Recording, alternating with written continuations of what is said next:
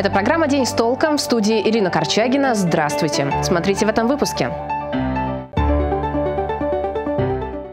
Приехали. В Барнауле показали новые белорусские трамваи, когда пассажиры смогут оценить современные вагоны. В Барнауле стало больше алкозависимых. Как врачи спасают любителей спиртного с того света? Карпы будут жить, только им нужно помочь. В парке Изумрудный ищут, куда отправить рыб на зимовку. Пять новых белорусских трамваев уже стоят в трамвайном депо Барнаула. Шестой трамвай уже на подходе. Всего по контракту поставка 10 единиц подвижного состава. Счастливчиками станут пассажиры маршрутов номер один и семь.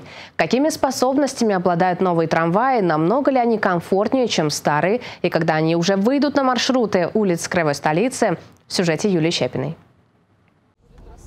Пять новеньких трамваев прибыли в Барнаул и ожидают выхода в свет. Последний раз таковые поставляли 10 лет назад, и то всего две единицы. Средний возраст вагонов сегодня достигает 40 лет. Эти же современные и имеют достойные технические характеристики. Трамваи белорусского производства, Белкоммунмаш, 820Е модель, э, модернизированный, э, полностью стопроцентный низкий пол, 4 двери для увеличения пропускной способности пассажиров на вход, на выход граждан. В том числе обеспечена доступная, доступная среда для маломобильных групп населения, инвалидов, что очень также удобно. Э, трамваи оборудованы кондиционером, э, видеокамерами, полностью следят за происходящим в салоне и вокруг трамвая на дороге. Трамвай рассчитан более чем на 150 пассажиров. Посадочных мест 34. Вагоны будут ездить по маршруту номер 7 и номер 1. В каждом будет работать кондуктор. По прибытию всех 10 вагонов и после передачи э, с комитета по имуществу города, значит, э, мы будем данными вагонами заниматься. Подготовка водителей у нас э, производится на базе нашего предприятия, так как у нас есть лицензия на подготовку водителей принципе, для наших водителей не, не будет иметь сложности, потому что данный тип подвижного состава, он ручное управление, и у нас есть такие вагоны. Но есть, конечно, определенные сложности при подготовке. Там э, водителю нужно будет, конечно, освоиться с пультом управления. Подготовить нужно около 40 водителей. Займет это неделю. Напомним, контракт на поставку 10 трамваев на сумму более 700 миллионов рублей был заключен еще в прошлом году. Плановая поставка по контракту планировалась до 1 апреля, но ввиду экономической обстановки мировой и нарушения э, поставок с деталями по комплектующих э, были обращения э, и производителя вагонов Белкоммунмаш, и также поставщика с просьбой переноса срока по объективным причинам, на что шли навстречу, поэтому как бы сроки контракта немного перенеслись на поставку всех единиц. Отметим, прибытие шестого вагона ожидают уже 9 октября. Оставшиеся поступят в ноябре. Есть вероятность, что прокатиться на новеньких трамваях барнаульцы смогут уже к Новому году. Юлия Щепина, Алексей Фризин. День с толком. Сегодня стало известно, на каких участках в Барнауле установят светофоры. В мэрии пояснили, что интенсивность транспортных потоков в этих местах достаточно высокая, поэтому движение пешеходов через проезжую часть затруднено. Так, светофорные объекты появятся на Павловском тракте 52В, а именно на пешеходном переходе в районе Теплого рынка, а также на улице Северо-Западной 222 на остановке «Спортивная школа». До конца ноября подрядчик должен провести монтажные работы, наладить работу светофоров, установить необходимые дорожные знаки. На улице Северо-Западной также установят дополнительное освещение. На все работы выделено около 4 миллионов рублей. Сегодня по всей стране прошла всероссийская штабная тренировка по гражданской обороне. Согласно общей легенде, в стране завершилась общая мобилизация. В некоторых регионах ввели военное положение. Притом существует опасность возникновения зон радиоактивного заражения. О том, как эти ситуации отрабатывали разные службы Барнаула, смотрите в нашем сюжете. Люди в пестрых оранжевых жилетках, заполнившие зал, сотрудники краевого учреждения, которое является эвакуационным пунктом в случае чрезвычайной ситуации. Сегодня они тренируются правильно оказывать помощь жителям Октябрьского района. Но сначала инструктаж. Эвакуируемые прибывают на сборно-эвакуационный пункт согласно расчету вывоза эвакуируемого населения автомобильным и железнодорожным транспортом, имея на руках эвакуационные удостоверения, оформленные организациями, жилищными организациями или администрацией района. Основная задача эвакуационного пункта – сбор населения для направления в безопасные места. Помогут здесь и семьям с детьми. Для этого в пункте есть все необходимое – кроватки, подгузники и игрушки. И если человек ранен, он может обратиться в медпункт. С учетом пополняемости, я думаю, мы сможем оказать помощь всем обратившимся, так как запасы должны быть э, на сборном эвакуационном пункте полностью на на, на, на, весь, э, на все количество населения, находящегося в районе. После оказания помощи формируется список жителей и отправка их на автобусах в безопасные районы в соответствии с планом эвакуации города. Технику именно аварийно-спасательных формирований необходимо всегда обработать от заражения радиоактивного или от химического заражения. Поможет в этом дозиметрист на пункте замера. Перед отправкой он тщательно обследует все снаружи и внутри. Особенно от радиации заражаются колеса, так как они притягивают дорожную пыль. Например, этот троллейбус содержит 0,6 миллирентген в час, что соответствует норме. После замеров технику обрабатывают специальными растворами, которые снижают общий фон радиации. Притом для всех типов транспорта он разный. У армейского нормы считается 200 миллирентген в час. Примерно такой же фон сохраняется в некоторых местах Припяти, так что обеззараживание строго обязательно. Подобные учения проводятся раз в год. И хочется надеяться, что эти навыки не придется применять в жизни. Данил Кузнецов, Владислав Ковалев. День с толком. Бизнес в Алтайском крае начнет развиваться более высокими темпами. Новую программу, разработанную совместно с ведущей московской бизнес-школы, уже внедрили в работу алтайского филиала «Ранхикс». Бизнес-симуляции, кейсы, деловые игры и тренинги. Обучение оптимизируют и сделает работу в бизнесе более эффективной. Для кого разработана программа и какие дисциплины предстоит освоить слушателям, смотрите в следующем сюжете. 10 тысяч единиц – вот наша точка. А если 11? Так, 29 сентября в Алтайском филиале президентской академии стартовало обучение по новой бизнес-программе MBA. Собрались слушатели разного уровня, от начинающих управленцев до метров своего дела.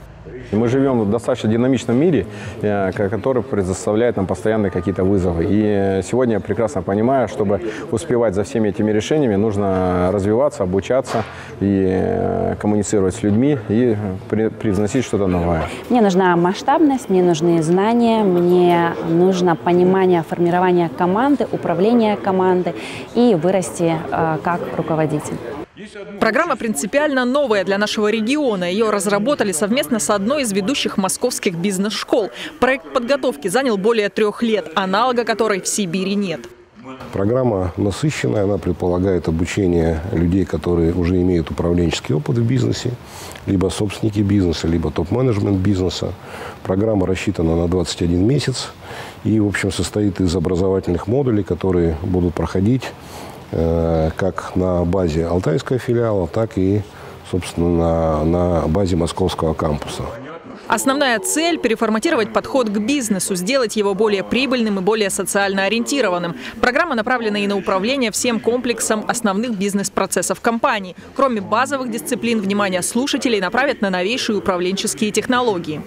Они называются по-английски это disruptive technologies. Это технологии стратегического э, прорыва, э, такие как, э, скажем, возможности использования искусственного интеллекта в управлении, роботизация бизнес-процессов, digital-маркетинг, digital-менеджмент. Вот эти вещи все связанные с большими данными. Чтобы эффективно сочетать учебу с бизнесом, разработан формат обучения, который позволяет получать знания практически без отрыва от производства. Программа очень удобная, потому что э, ежемесячно э, три дня обучения, два из них выпадают на выходные дни.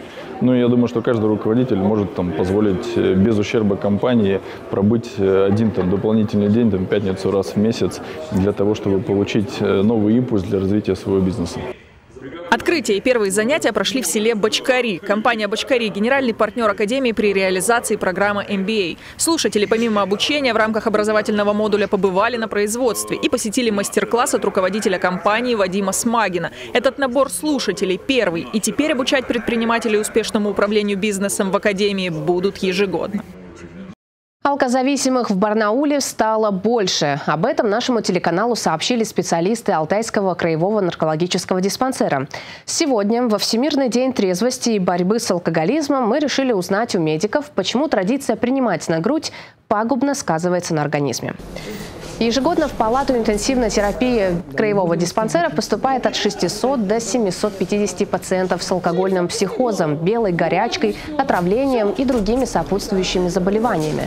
Врачи-реаниматологи в буквальном смысле возвращают пациентов, которые злоупотребляют алкоголем месяцами, а то и годами с того света. Мышца сердца не выполняет свою функцию. Э, сердце должно прокачивать кровь. Оно не может это сделать, потому что у не хватает ресурсов ну, дистрофия мышц.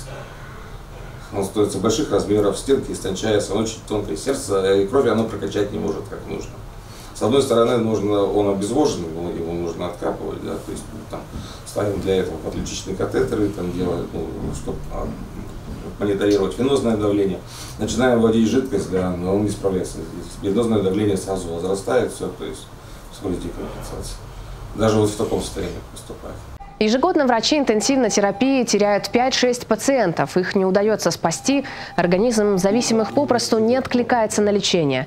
Медики настаивают, что спиртные напитки в любой дозе – это яд, и они наносят колоссальный вред организму, а при регулярном употреблении поражаются и все внутренние органы. За последние несколько лет количество алкозависимых начало неумолимо расти, отмечают медики. Пить стал народ больше, пить стал сильнее. Это за последние несколько лет такая тенденция прослеживается четко? Да, да. И это я здесь понимаю, в этой больнице. я живу в городе, например, в центре у себя, там смотрю в окно, все нормально, я пьяных людей, качающихся, шатающихся не вижу. Я наоборот, как бы смотрю в окно, там, на турниках люди занимаются до разных возрастов. Мамы с колясками гуляют, все хорошо, думаю, ну, наверное, стал народ понимать, что пить вредно, что пить плохо. А когда приезжаю на работу и, и скорая помощь э, везет больных нам, а мест уже нет, переполнено. Еще лет 10 назад не было вот такого. Вот. Я понимаю, что ситуация не то, что не меняется, а еще хуже стала. Сегодня во Всемирный день борьбы с алкоголизмом мы вышли на улицы краевой столицы, чтобы узнать у горожан, как они относятся к спиртным напиткам и нужно ли, по их мнению, вообще отказываться от них. Вообще не пью. Почему вы отказались от алкоголя? Ну, это же невкусно. Правильно же? Невкусно. Можно съесть хорошую конфетку сладкую, то, что тебе нравится. Но это выпить и сморщиться, я считаю, оно нужно. Почему нужно вести здоровый, трезвый образ жизни? Ваше мнение? Потому что печень портится. К чему приводит злоупотребление? Человек становится неадекватным и идет уже на какие-то преступления и катится по наклонной. Надо трезвым быть для потомства, для внуков пример. Да только спортом можно заменить алкоголь. Может быть, культурный досуг, как вы думаете? Прогулки, парк, лес, велосипед – люди злоупотребляют каждый день там э, бокал а потом, вина. А потом это все может произойти, они в большом количестве, получается, будут употреблять. И общество будут э, как бы завлекать, пойдем выпьем, пойдем выпьем. И к этому все приходит, и э, можно без дома остаться, бомжом стать, на помойке. В парке «Изумрудный» начали решать проблему с рыбой. Накануне там выловили мальков-карася, чтобы запустить их в один из прудов в поселке Южный. С такой инициативой к дирекции парка обратился неравнодушный житель города. Кстати, в «Изумрудном» будут рады всем, кто захочет выловить мальков и переместить их в водоемы Барнаула. Ведь в пруду они замерзнут, а так у рыб появится шанс выжить. Отпускаем рыб. Пониже. Нерешенным остается вопрос с декоративными карпами. Сейчас их необходимо отдать в добрые руки на зимовку, чтобы весной они снова могли радовать гостей изумрудного. У парка уже есть договоренности с двумя благотворителями, которые готовы приютить несколько десятков рыб. Но необходимо приютить еще столько же. Напомним, всего летом в пруд изумрудного запустили порядка 200 карпов. Кстати, в парке просят не подкармливать рыб, так как они могут впасть в вялое состояние. Теперь спектакли могут появиться там, где их совершенно не ждут. Театр драмы реализует новый проект «Променад-сцена». Его суть в том, что площадкой для спектаклей может стать любое пространство, будь то городской бульвар или деревенские просторы. Театр – зеркало жизни, театр отражает реальность. И не всегда в пространстве сцены мы можем эту реальность отразить. Мы не всегда можем привести танк, комбайн, поле, ржи. Э, да, и когда мы играем в настоящем пространстве, то это означает и другой степени настоящность э, и среды, и требует настоящность актерской игры. По статистике в театр ходит небольшой процент да, людей, там 3-5, э, где-то такое. И мы не боимся идти в город, идти к ним в трамвай, идти к ним на улицу, идти к ним на завод, идти к ним в школу, идти к ним в университет, в фитнес-зал, в бар, в ресторан, на кладбище, куда хотите. Никаких декораций, только живое пространство. Постановщиками променад-сцены станут как главный режиссер, так и артисты театра с режиссерским образованием. Совсем скоро зрители смогут увидеть такие постановки, как э, «Ваня, ты как здесь?», «Способный ученик» и другие. Афиша появится на сайте театра, билеты можно будет приобрести в кассе. Понравится ли такой формат зрителям, покажут уже первые постановки. Кстати, это совсем не значит, что в привычном репертуаре станет меньше спектаклей. Променад-сцена для творческого коллектива – это возможность расширить границы театрального искусства и привлечь в драматический новых поклонников. А у меня на этом все новости. Смотрите нас на 22 кнопке и в соцсетях. Для вас работает телефон нашей редакции 205 545. Через несколько секунд узнаем, какой будет погода. Спонсор прогноза – компания «Эвалар». До встречи в эфире.